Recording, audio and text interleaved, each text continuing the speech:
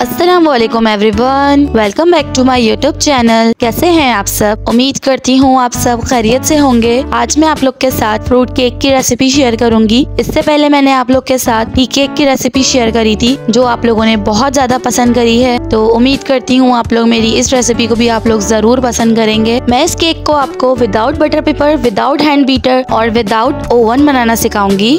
बिना किसी झंझट के और बिना किसी मेहनत के इस केक को हम जूसर मशीन में बनाएँगे। इस केक को बनाने के लिए हमें पिसी हुई चीनी की भी ज़रूरत नहीं पड़ेगी। अब बगैर टाइम वेस्ट करे जल्दी से अपनी रेसिपी बनाना शुरू करते हैं। फ्रूट केक बनाने के लिए मैंने दो अदद अंडे लिए हैं, जो बिल्कुल रूम टेम्परेचर पे थे। इसको जूसर मशीन में शामिल करेंगे। याद रहे, हमें ठंडी चीज़ें बिल्कुल भी यूज़ नहीं करनी है बेकिंग में। उसके बाद one fourth cup cooking oil लेंगे। हाफ़ कप चीनी शामिल करेंगे। चीनी नॉर्मल चाहिए, पिसी हुई चीनी नहीं लेंगे। One fourth teaspoon yellow food colour शामिल करेंगे। ये ऑप्शनल है, पर इससे हमारे केक का कलर अच्छा हो जाता है। हाफ़ टी स्पून के करीब वेनिला एसेंस शामिल करेंगे। बेसिकली ये अंडों की स्मेल को खत्म करता है। अब जूसर को करेंगे हम बंद और इसको बीट कर लेंगे एक मिनट तक। अच्छा बीटिंग का मैं आपको टाइम बता दूँ तो जो जूसर की जो सबसे स्लो स्पीड होती है, आपने उस स्पीड पे इसको कंटिन्यूस एक मिनट तक ब्लेंड करना है। मिक्सचर को ब्लेंड होते हुए एक मिनट हो चुका है। अब मैं इसको एक बाउल में निकाल लूँगी। बाउल में सारा मिक्सचर निकालने के बाद जो हमारा जूसर ब्लेंडर में मिक्सचर बाकी रह जाएगा, उसको हम फेंकेंगे नहीं। उसके अंदर वन फोर्थ कप दूध शामिल करेंगे। ये बॉईल करके ठंडा रूम टेम्परेचर पे दूध मैंने इसके अंदर शामिल किया है। वो इसके अंदर शामिल कर लेंगे, हल्का सा जग को हिला लेंगे। इस तरह से हमारे मिक्सचर में दूध एड हो जाएगा और हमारा जग भी क्लीन हो जाएगा।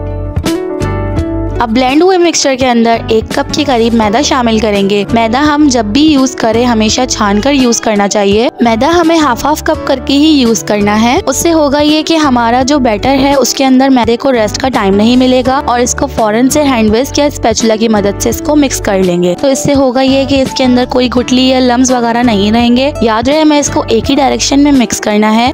अब जो हाफ़ कप मैदा बाकी रह गया था, उसको भी बैटर के अंदर छान लेंगे। अब इसके अंदर वन टीस्पून के करीब बेकिंग पाउडर शामिल करेंगे। याद रहे, मैंने बेकिंग पाउडर कहा है। बेकिंग सोडा या खाने का सोडा नहीं बोला है। अब इन दोनों चीज़ों को हम केक के बैटर के अंदर छान लेंगे अच्छी तरीके से और फिर इसको एक ही डायरेक्शन में मिक्स करेंगे। हैंड विस्क की मदद से आप कर लेंगे स्पैचुला की मदद से, लेकिन डायरेक्शन एक होनी चाहिए। अच्छा यहाँ पर लोग जो है, वो एक गलती करते हैं कि इसको रेस्ट का टाइम दे देते हैं बैटर को ना। तो बैटर को आपने रेस्ट का टाइम बिल्कुल नहीं देना है। उससे होगा ये कि हमारे जो बैटर है, उसके अंदर गुटलियाँ लम्स वगैरह रह जाएँगे। तो आप फिर कुछ भी कर लें तो वो फिर लम्स आपके नहीं खत्म होंगे। तो बेहतर है कि आप फ़ौरन फ़ौरन स्पेचुला की मदद से या हैंड की मदद से इसको मिक्स कर लें। अगर आपको यहाँ पर बैटर आपको जरा सा हार्ड लग रहा है रिबन कंसिस्टेंसी नहीं आ रही है तो आप इसके अंदर टू टेबल स्पून दूध शामिल कर लें, जो बिल्कुल नॉर्मल बॉयल होकर रूम टेम्परेचर पर हो। इसके बाद मैंने ली है दो तरह की टूटी फ्रूटी क्योंकि हम टूटी फ्रूटी केक बना रहे हैं तो मैंने यहाँ पे रेड और ग्रीन कलर की ली है। उसके बाद मैंने इसके अंदर टू टेबल स्पून के करीब मैदा शामिल करा है। उससे होगा ये कि हमारी जो टूटी फ्रूटी है, वो केक टिन के अंदर जाकर चुपकेगी नहीं।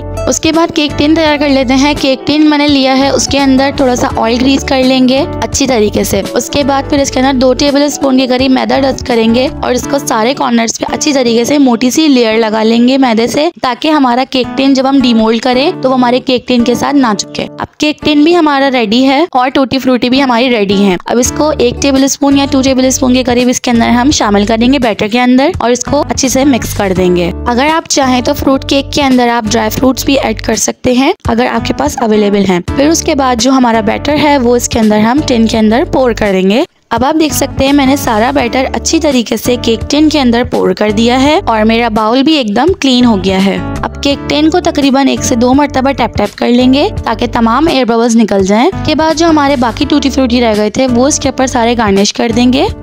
अगर आप मेरे चैनल पे नए हैं और मेरी वीडियो यहाँ तक वॉच कर रहे हैं तो मेरा चैनल ज़रूर सब्सक्राइब कर लें। केक को मैं यहाँ पतीले में बेक कर रही हूँ तो मैंने हाई फ्लेम पे पहले पतीले को पाँच मिनट तक प्रीहीट कर लिया था। उसके बाद इस तरह से इसके अंदर एक स्टैंड रखेंगे और उसके ऊपर अपना केक टेन रख देंगे। इसको कवर करके 40 से 45 मिनट तक लो टू मीडियम फ्लेम पे बेक कर लेंगे। अब तकरीबन 40 मिनट हो चुके हैं। आप देख सकते हैं केक अच्छी तरीके से बेक हो चुका है। अब इसको केक टेस्टर या वुडन स्केयर की मदद से आप इसको चेक कर सकते हैं। अगर ये जरा सी भी गीली आती है तो आप इसको पाँच मिनट तक और बेक कर लें। अच्छा बहुत से लोग यहाँ पर ये मिस्टेक करते हैं कि इसको बार बार जो है वो खोल कर चेक करते हैं, जब पतीले में बेक करते हैं तो। तो इससे हमारा जो केक का टेम्परेचर है वो खराब हो जाता है और केक हमारा अच्छी तरीके से बेक नहीं हो पाता है। तो बेहतर ये है कि आप टाइम नोट करके इसको टाइम पर इसको बेक करें। केक ठंडा होने के बाद मैंने इसको डिमोल्ड करा है और आप देख सकते हैं, इतनी आसानी के साथ ये डिमोल्ड हो गया है। डिमोल्ड करा है तो आप देख सकते हैं केक टिन के अंदर भी कोई केक नहीं चुपका है। और आप देख सकते हैं कितना सॉफ्ट स्पंजी केक बनकर रेडी हुआ है। आप देख सकते हैं मैंने ये केक एक कप मैदे से और बगैर ओवन के मैंने आपको बनाना सिखाया जूसर ब्लेंडर में हमने इसको बनाया है। तो आप देख सकते हैं इसकी सॉफ्टनेस चेक करें आपके बाज़ार से ज़्यादा अच्छा केक हमने घर में बना लिया। अगर आपके पास ओवन नहीं है हैंड बीटर नहीं है तो आप आसानी से घर में इसको पतीले में बेक कर सकते हैं और मिनटों में ये केक बनाकर अपनी फैमिली के साथ टी टाइम में ये केक एंजॉय कर सकते हैं।